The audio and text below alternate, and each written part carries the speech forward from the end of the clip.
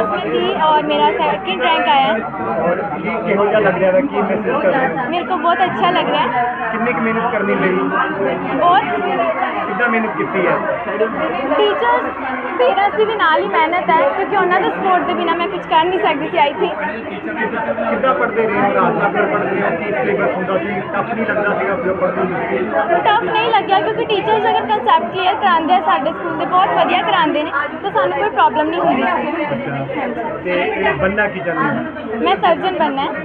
Doctor ਹਾਂਜੀ। ਕਿਉਂ? ਮੇਰਾ ਇਹ ਗੋਲ ਹੈ। ਹੈਂ? ਮੇਰਾ ਗੋਲ ਹੈ। ਮੈਨੂੰ ਇਹੀ ਬਣਨਾ ਹੈ। ਮੇਰਾ ਡ੍ਰੀਮ ਹੈ। ਖੁਸ਼ੀ ਦਾ ਟਿਕਾਣਾ ਨਹੀਂ ਹੈ ਅੱਜ ਤਾਂ ਕਿਉਂਕਿ ਜਦੋਂ ਆਪਾਂ ਗੱਲ ਕਰਦੇ ਹਾਂ ਕਿਸੇ ਬੁਲੰਦੀ ਦੀ ਉਹਦੇ ਤੇ ਪਹੁੰਚਣਾ ਸੌਖਾ ਹੁੰਦਾ, ਪਰ ਉਸ ਬੁਲੰਦੀ ਤੇ ਕਾਇਮ ਰਹਿਣਾ ਬਹੁਤ ਔਖਾ ਹੁੰਦਾ। ਤੇ ਜਦੋਂ ਅਸੀਂ ਦੇਖਦੇ ਹਾਂ ਵੀ ਅਸੀਂ ਕਾਇਮ ਆਪਣੇ ਆਪ ਨੂੰ ਰੱਖ ਰਹੇ ਹਾਂ, ਤੇ ਪੁਰਾਣੀ ਪਿਰਤ ਨੂੰ ਵੀ ਕਾਇਮ ਰੱਖ ਰਹੇ ਹਾਂ, ਤਾਂ ਫਿਰ ਬਹੁਤ ਜ਼ਿਆਦਾ ਖੁਸ਼ੀ ਹੁੰਦੀ ਹੈ। ਪੂਰਾ ਸਕੂਲ ਦੇ ਵਿੱਚ ਖੁਸ਼ੀ ਦਾ ਮਾਹੌਲ ਆ, ਢੋਲ ਵੱਜ ਰਹੇ ਨੇ, ਤੇ ਖੁਸ਼ੀ ਨਾਲ ਸਾਡੇ ਅੱਖਾਂ ਦੇ ਵਿੱਚ ਵੀ ਅੱਥਰੂ ਆ ਰਹੇ ਨੇ। ਖੁਸ਼ੀ ਦੇ ਆਂਸੂ। ਬਿਲਕੁਲ ਜੀ। ਤੇ ਬੱਚੇ ਲਗਾਤਾਰ ਟੌਪ ਕਰ ਰਹੇ ਨੇ। ਬੱਚ- ਕੀ ਮਿਹਨਤ ਕੀ ਹੈ? ਸਕੂਲ ਦਾ ਪੈਟਰਨ ਕੀ ਹੈ? ਫਾਰਮੂਲਾ ਕੀ ਹੈ ਜਿਹੜਾ ਬੱਚੇ ਹਰ ਵਾਰ ਇਸ ਇੱਥੇ ਮਿਹਨਤ ਦੇ ਵਿੱਚ ਸਭ ਤੋਂ ਵੱਧ ਜਿਹੜੀ ਚੀਜ਼ ਦੀ ਕੰਟਰੀਬਿਊਸ਼ਨ ਉਹ ਡਿਸਪਲਿਨ ਦੀ ਹੁੰਦੀ ਹੈ। ਦੂਸਰੀ ਮੋਟੀਵੇਸ਼ਨ ਦੀ।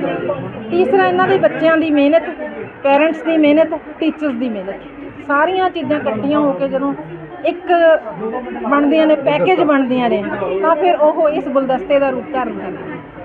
ਤੇ ਬੱਚਿਆਂ ਦਾ ਕੀ ਨਾਮ ਹੈ, ਕਿਸ ਤਰੀਕੇ ਨਾਲ ਮਿਹਨਤ ਕਰ ਰਹੀਆਂ ਸੀ, ਕਿਹੜੀ ਕਲਾਸ ਦੀਆਂ ਔਰ ਕਿਹੜੀ, ਕਿੰਨੀਆਂ ਟੀਚਰਸ ਲੱਗੀਆਂ ਹੋਈਆਂ ਸੀ, ਇਹ ਬੱਚਿਆਂ ਨੂੰ ਮੋਟੀਵੇਟ ਕਰਨ ਟੀਚਰਸ ਤਾਂ ਦੇਖੋ ਟੀਚਰਸ ਤਾਂ ਟੀਚਰਸ ਵੀ ਜਿਹੜੇ ਪੜ੍ਹਾ ਰਹੇ ਨੇ ਸਬਜੈਕਟ ਟੀਚਰਸ ਆਪਣੇ ਲੈਵਲ ਤੇ ਕਰ ਰਹੇ ਨੇ ਮੋਟੀਵੇਟ ਸਾਡੇ ਕੋਲ ਹਾਈ ਹਾਈ ਵਿੰਗ ਦੇ ਇੰਚਾਰਜ ਸਰਬਜੀਤ ਮੈਡਮ ਨੇ ਇਹ ਇਹ ਆਪਣੇ ਲੈਵਲ ਤੇ ਕਰਦੇ ਨੇ ਤੇ ਜਦੋਂ ਮੈਂ ਬੱਚਿਆਂ ਨੂੰ ਮਿਲਦੀ ਹਾਂ ਉਦੋਂ ਅਸੀਂ ਆਪਣੇ ਲੈਵਲ ਮਤਲਬ ਐਡਮਿਨਿਸਟ੍ਰੇਸ਼ਨ ਲੈਵਲ ਤੇ ਵੀ ਤੇ ਕਲਾਸ ਲੈਵਲ ਤੇ ਵੀ ਬੱਚਿਆਂ ਦੀ ਮੋਟੀਵੇਸ਼ਨ ਆਮ ਹੀ ਹੁੰਦੀ ਰਹਿੰਦੀ ਹੈ।